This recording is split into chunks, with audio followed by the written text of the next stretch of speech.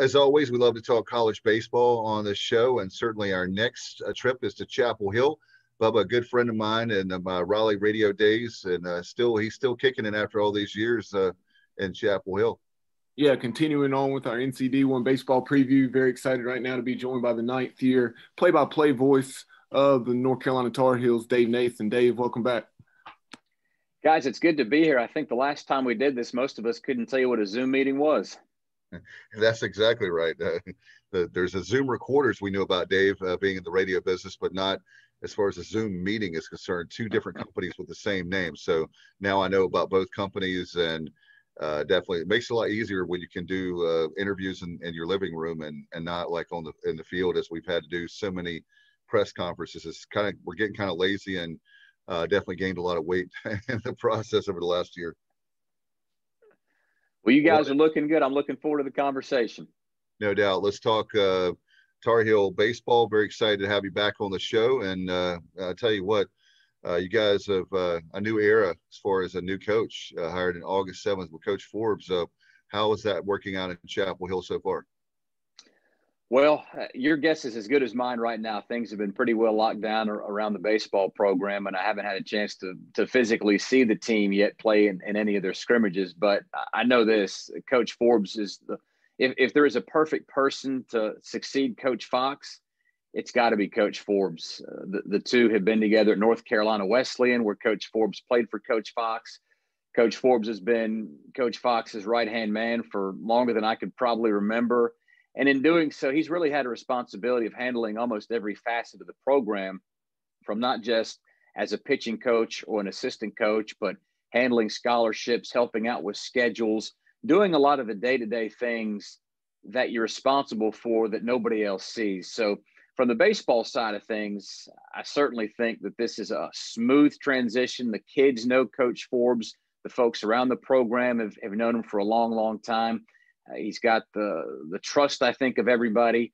And again, it's it's so tough to see the end of any era, especially one as as great as Coach Fox's was. But if you're looking for the next step and what comes next, I, I don't think there could have been any other way to go than except with Coach Forbes. Yeah, you talk about that, Dave. Um, this was the obvious transition. This is what most folks um, saw coming for quite some time. Whenever Coach Fox did ultimately decide to step away and with, Coach Forbes, and you talk about him taking on those variety of roles, and that's something that I was thinking about several years ago when he moved away from being the pitching coach, and uh, Robert Woodard came on board, who's obviously now the head coach at Charlotte, entering his second season with the 49ers. No question. I mean, it's uh, it's a long lineage of Carolina folks, really all around the state. We've got another one back with us this year, and in Coach Howell. And I'm just guessing from Coach Forbes' perspective, the biggest adjustment to to becoming the head coach, in addition to getting used to that nice new office that he's got as you walk into the facility, is all the stuff that nobody else really sees. I mean, he's got to handle me for uh, a couple hours a week doing a coach's show. Nobody else is really responsible for that. There, there's things that a head coach has to do far and away outside of just showing up for baseball games. And to me, that would be the biggest adjustment. But again, he's he's watched Coach Fox do it for the better part of 20 years. And although you've never really done it until you're sitting in that seat, he's got to be as, as well adjusted as anybody.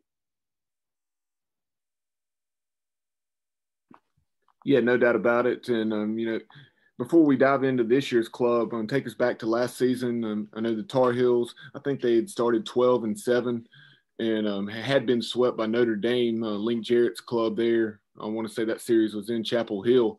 But um, just talk about what's returning, um, the, the common theme around the country with all the eligibility rules, also the draft being just five rounds.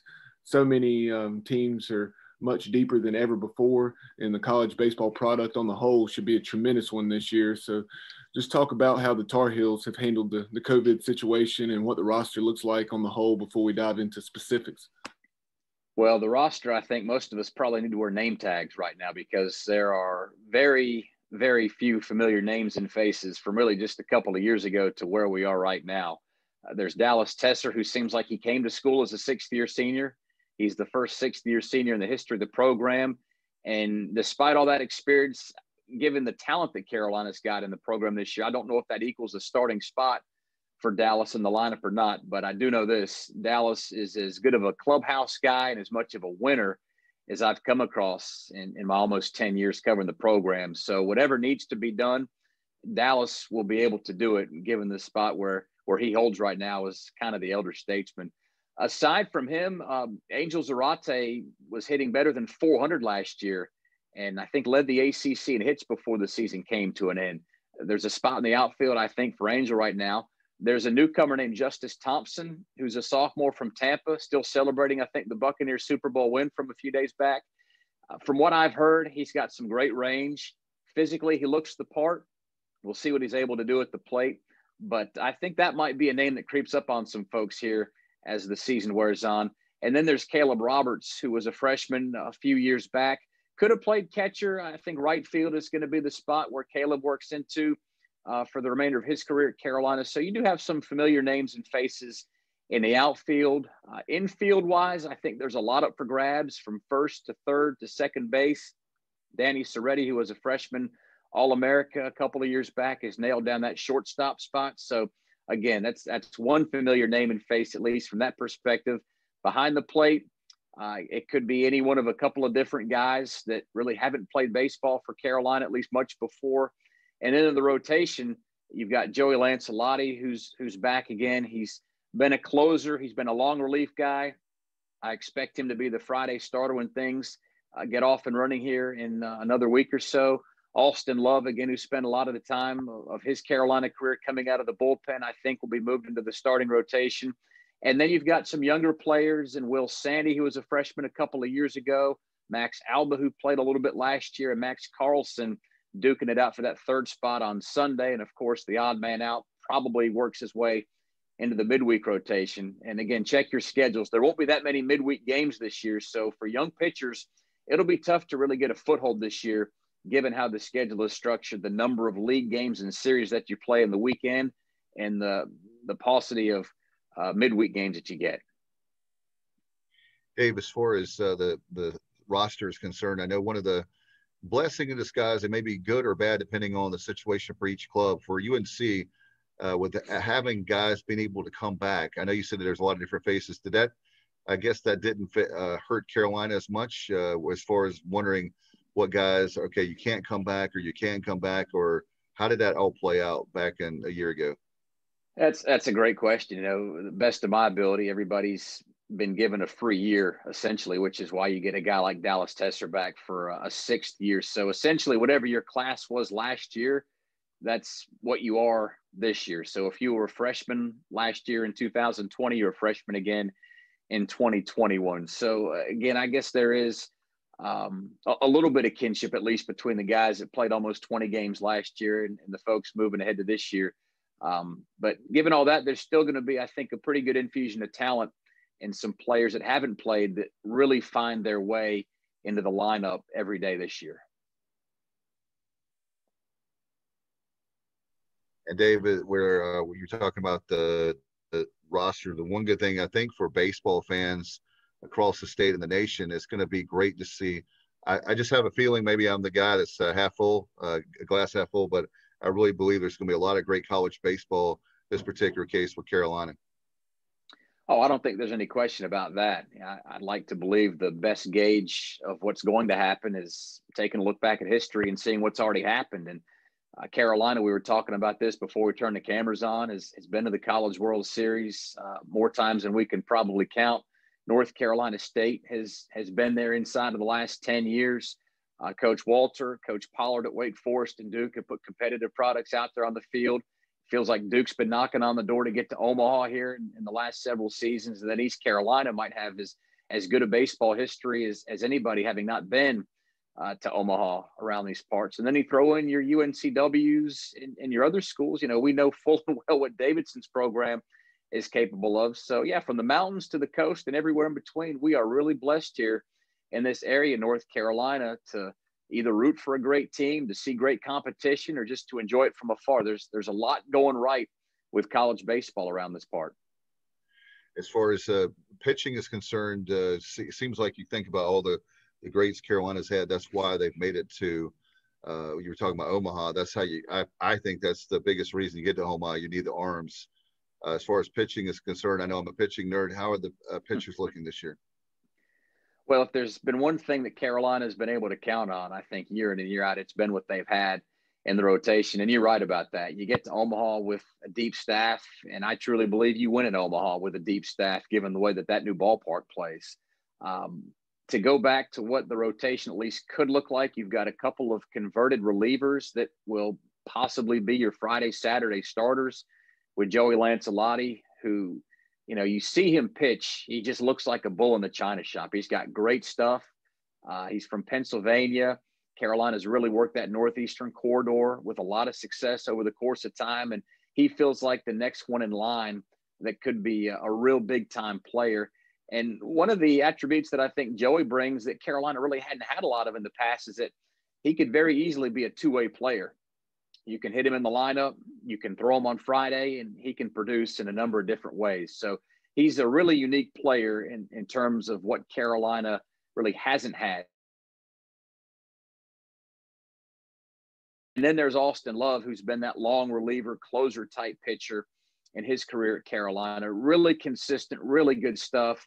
And Saturday seems like it's the spot for him before you get to Sunday. Uh, Max Carlson, somebody I haven't seen pitch yet, but talking with some folks around the program, doesn't throw it all that hard, somewhere between 89, 92. But when you start hearing names like he reminds us of Zach Gallen, your ears kind of perk up, given how important Zach was to the program and how much success he had at AAA before he got the call up to the bigs, and how consistent he's been in such a short time in the major league. So you take note when people start saying he reminds me of Zach Gallen. And then there's Max Alba, who who came to Carolina with all sorts of upside. We'll see if if there's a spot for him in the weekend rotation. And then Will Sandy, who was super impressive to me as a, a, freshman a couple of years back when Carolina really didn't have very many lefties. He was one that they could count on. He nailed down the Sunday spot back in 2019 for roughly the second half of the season, and I thought was relatively consistent with a couple of extra years under his belt right now knowing the league, maturing, and understanding the game a little bit more. I'm really curious to see if if he fights into that Sunday spot or if he might be a midweek guy. If not, again, he could be a long relief pitcher. So uh, again, Carolina's certainly got their options. That's not anything that's changed. And to have a guy like Bryant Gaines who pitched at Carolina during his career, was an assistant, worked his way over to Liberty, where he worked with Coach Jackson, a former Carolina assistant, and has now come back to Carolina as the pitching coach. I mean, again, you, you trust your your assistants, as I know that Coach Forbes does, and uh, Coach Gaines has, you know, despite the fact that he's not as long in the tooth as some others out there, he's got a lot of experience in a short amount of time. They you referenced on the scheduling issues with the pandemic as far as not playing as many midweek games. Just talk about the Tar Heel schedule on the whole. Um, how the ACC is handling things in terms of number of series and um, any, any type of adjustments, uh, and then touch on who the Tar Heels play out of conference. Yeah, well, it starts early for Carolina, uh, and, and it's going to be a tough go of it against Kentucky. That's the opening series of the season for the Tar Heels, and that'll be on the 19th, the 20th, and the 21st of February. So you start out right out of the gate with an SEC team uh, that I'm sure will be more than competitive coming to Chapel Hill. And if you're looking for measuring sticks, I suppose you could know very early on going into ACC play, which is the very next week, I think against Virginia, uh, where Carolina stands. Uh, the road schedule, again, only looking at you guys and just not looking at the schedule, it's it's kind of daunting given where Carolina has to go. You, you've got a trip to Florida State, you've got to go up to Boston College, Pittsburgh shows up on the schedule. So you've got some pretty lengthy road trips, and then teams coming to play Carolina. Uh, again, I think Clemson uh, comes up on the schedule. Miami, of course, there's Duke, there's State, there's there's all the usual suspects. So there'll be a handful fewer games this year overall. There'll be several more ACC games, which translates into more ACC series. You see virtually everybody in the league this year, as opposed to playing just 30 games. I think it'll wind up closer to to 36 this year with the Atlantic Coast Conference. And again, as we all know, schedules can certainly change on a dime, uh, given what we've seen in football and basketball this year. I got no reason to think that baseball is going to be any different than that. Uh, but you'll play a, a much more competitive schedule given the number of league games you'll play. There won't be as many, if any, Tuesday, Wednesday midweek games. So maybe you only get one midweek game per week to to work some things out. And there could be some long stretches from you know Wednesday, Thursday into Friday, Saturday, Sunday before you get back on the field. So it'll be different, but again, that's why they call these people coaches to get these kids ready and, and to put them in a position to succeed. And we've clearly seen in all the other sports right now, uh, some folks have been very adept at getting this figured out and really hadn't missed a beat. And Dave, that's uh, that's the one thing that I'm worried about uh, with the cancellation. I know East Carolina played like 17 games, and then the season's gone. That's my number one thing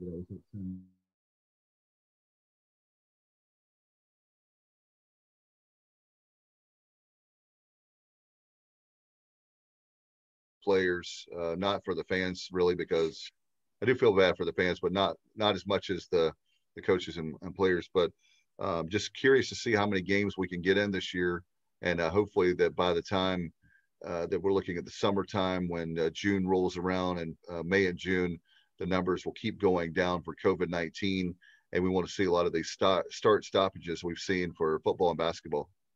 Yeah, absolutely. And again, just using some of the other sports as a guide, I thought the ACC did a phenomenal job in getting its football games played this year. I think it was something close to 97 or 98% of the games that were scheduled got played. And you guys know this, even in a good year, when you've got things like hurricanes and other postponements that come about, you're not going to get in all your games, even when you're not living in a global pandemic. So you take your hat off to how the ACC got things done and who do you credit for that? Well, the kids, the staffs, the administration, and the overall leadership that that put them in a spot to get these things done. With basketball, yeah, there have been some hiccups along the way, but by and large, you know, we're almost roughly a year removed from a starting point. And to think that we're a month away or so from starting an NCAA tournament, hopefully, and having conference championships again and playing as many games as we've had, I think the odds are in our favor right now to play close to a full baseball season. Are we going to play 100% of the games? Probably not realistic in any year with rain delays and, and other issues that can come up. But if, if we can creep up much past 44, 45 games and, and have uh, essentially a full season before you get into the conference tournament and before you get into the NCAA tournament, you just have to again credit all the folks that make this possible. As, as folks on the outside whether in the media or whether we're fans we're, we're ancillary compared to how everybody on the inside has been essentially forced to live their lives in order to get these seasons in. It's it's been a, a, heck of a difference i can tell you from hearing some of the stories. And one of these days somebody will write a book on it no doubt hey uh, as far as dave as far as uh have you heard anything as far as UNC, as far as maybe when the uh, kids, uh, the players, coaches will get? Uh, I think it would be in the springtime they would get their shots. I really don't know. I, all I know is I think that I heard that Coach Williams was able to get in line to get his on the basketball front uh, a couple of weeks back, but I really couldn't tell you anything about anybody getting vaccinated. It's going to be really interesting. Hopefully, we can get that done. As far as uh, how can people find your work, I appreciate you coming on. Been a good friend for a long time, but it's hard to believe I think a decade now I've known you, and uh, do a great job. I can't wait to hear you this uh, this season. How can people hear your work uh, as far as uh, uh, Tar Heel baseball? Sure, they can go to goheels.com or get the app. We we stream, I think, every one of our games this year. If you're local inside the Triangle area WCHL is is one of our yeah. affiliates. WBAG in Burlington is is another way that you can find us. And again, ten years, Dave, you're taking me back in time, my man. It's been a while. Friendship. Appreciate listening to you. Do a great job on the call, and look forward to it. Hopefully, you guys will have a great season and uh, definitely get back to Omaha. Well, that's uh, that's certainly the hope. That's uh, a lot of people's expectation. But uh, if we get there, we certainly know that we'll have earned it. And and if we are there, I expect to see you two there in person, and maybe we can do this face to face for a change instead of over the internet.